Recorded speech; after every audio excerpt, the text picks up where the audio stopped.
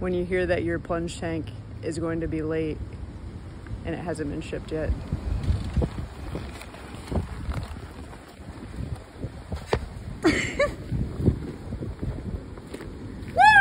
Woo! oh.